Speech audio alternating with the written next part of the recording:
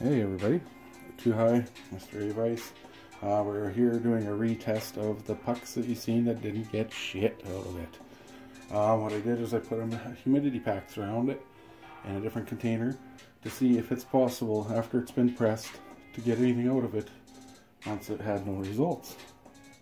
So there's three pucks in there and uh, we'll see if it does anything.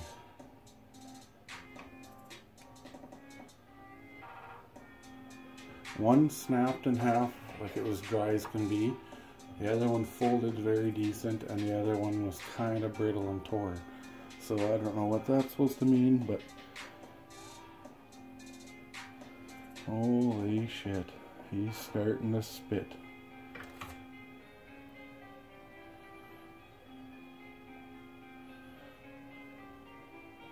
Definitely not the nicest color coming out but I don't judge rosin on its color.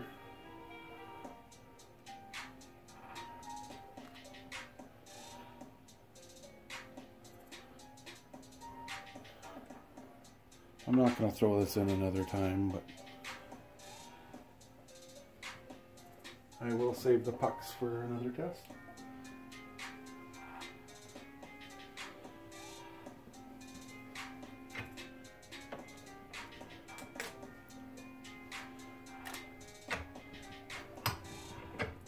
Now I didn't weigh the buds that I threw in here because I didn't want to waste time with them drying out. So two of the buds, pretty sure were that banana split shit, and the other one was alien chem dog.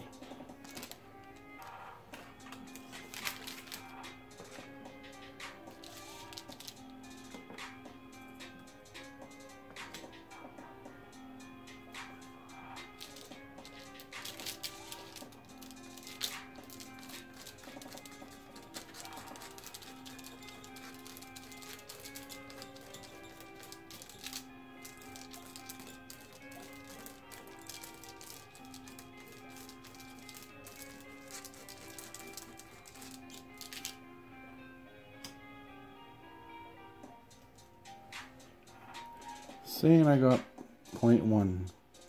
So it's not bad. It was something that I was just going to put into the container and use for honey oil. So this kind of proves a point. It's best to retest instead of looking at flat buds and be depressed. Happy healthy hoots everybody.